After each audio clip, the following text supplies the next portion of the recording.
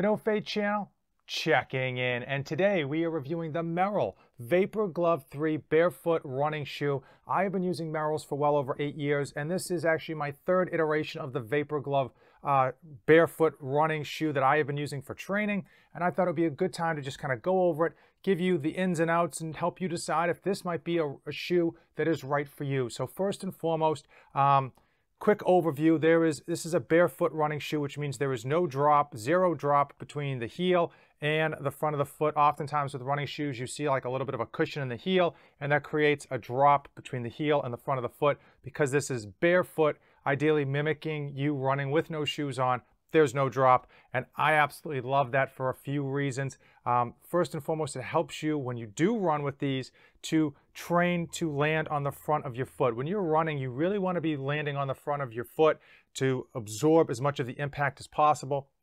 Easier said than done. Oftentimes, when we get tired, we strike with the heel of our foot, and that creates a lot of just damage or shock all the way up from our heel, knees, hips, all the way up our body. Um, so with something like this, will hopefully, if you do it correctly, train to run with the front of your foot um, as opposed to the back of the foot. Now, I do not do a lot of running with these. Um, for a few reasons. One, I don't run very much. Oftentimes I just run races rather than actually do road work or training work. So I do minimal running with these. The last race I ran with the Vapor Glove was um, the Spartan Fenway Series, which wasn't very far. And, you know, I've really loved them. A big reason that I do love them is that it has a Vibram sole. Merrells are known for their Vibram soles. It gives you a lot of really good grip, a lot of cushion without the, um, without the foam feeling with some of those running shoes. The major use I have with these running shoes is for gym training. I really enjoy, again, the lack of drop between the heel and the front of the foot. It's almost like you're lifting in your socks. If you've ever gone to the gym, you probably see some people squatting or deadlifting in their socks. Um, and I basically don't have to take my shoes off because that's there's no drop between the heel and the back of the foot. I will say if you're going to be doing a ton of mileage on the road, especially on concrete or cement, this isn't for you, okay? Even if you are a front foot runner, um, there's not a lot of cushion in here and they're very, very unforgiving, especially on the road. I When I run in these, it's usually for shorter races, um, but I really enjoy lifting with them, whether it's for uh, plyometric work, whether it's for squats, whether it's for hex bar deadlifts, or just overall just walking in them. They're extremely, extremely comfortable. So let's quickly go over cost. I paid $55 because I bought these for two at the Merrell outlets um, down in Foxwoods, uh, Connecticut. So um, if you would have got go online and buy one pair of these, these are going to cost between like 80 and 100. But if you're like me and you buy two at a time, um, you can probably get them for 55 or 60 depending on the time of the year and where exactly you're buying them. As far as how they fit, because there is a big toe box in here, um, I actually get a whole size down. Even though I have a whole size down, I still have plenty of room on the front of the toe. One of the problems that I have, I have a narrow foot, so if I got my, when I typically get my normal size, I have to really tighten, the, over tighten these laces in order to kind of hug the, the middle of my top, the middle top of my foot. So I will say if you're looking for these and you do have a narrow foot, uh, expect to get at least a half a size below what you normally get.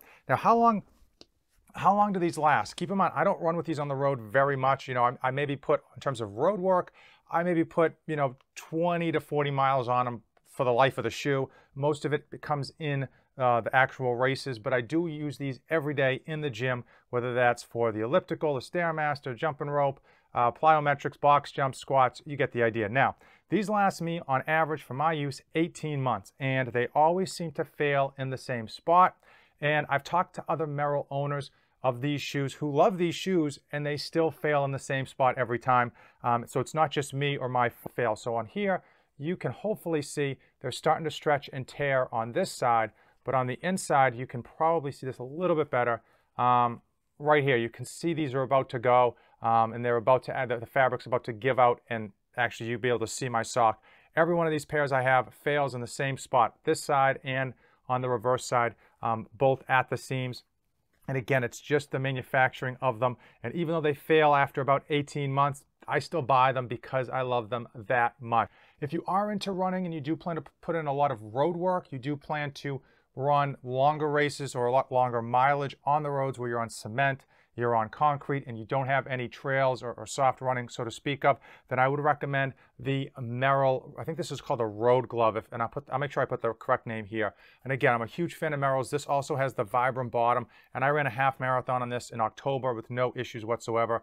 And you still get almost no drop between the heel and the front, but you, as you can hopefully see, you get a little bit more cushion, a little bit more give. And even though I say a little bit, these are gonna be a lot less than your typical running shoe, and you should uh, over the course of a long time. Try to learn to run with the front of your foot. And even me, when I get super tired during those races, you'll I, have seen video, and I'll still I'm still striking um, mid to back at the very end. I usually start off pretty good in the front to middle, and then boom, towards the end of those races when I'm just fatigued and, and exhausted, I'm still heel striking a lot more than I wish. I am a fan of the Merrell Vapor Glove 3 for trail running, for short races, for a little bit of road work, but most importantly, I love this shoe because of how it handles in the gym. Great functionality um, across all my gym training. Um, and I'm going to continue to buy these in bulk because I just love them that much and they fit my foot so well. Um, I will say this is the Vapor Glove 3.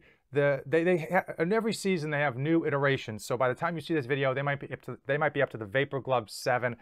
The changes are really small. The biggest change between iterations is usually the color scheme. Um, oftentimes, I, it's really hard for me to even pick out the small subtle changes that they make between the iterations. So if you see this video and you see a new iteration, don't let that uh, shy you away. It's probably the same thing uh, that I'm describing here, right here, right now. If you're interested in buying these, hey, I have no affiliation with, with Merrell whatsoever. Merrell.com, the best bet is to just Google them, or if you're able to go to the Merrell outlets, that's probably where you're gonna get the best deals possible. But again, I tend, because I have a narrow foot, as I mentioned, I tend to get these in a smaller version. This is a full size down from what I normally wear, but for some of you, a half size might just do the trick.